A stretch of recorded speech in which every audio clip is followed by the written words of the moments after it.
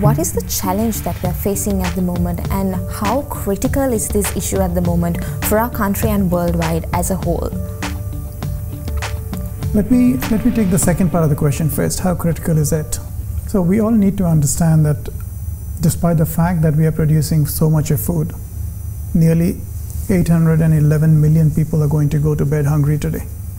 And nearly 2 billion people worldwide Uh, uh, eating food which is not nutritious and suffering from malnutrition issues. So, this is a, a humongous problem which is facing the world. And this is happening while we are producing enough food, as I said, but happening because we are not able to reach that food to the people. 30% of it is going waste.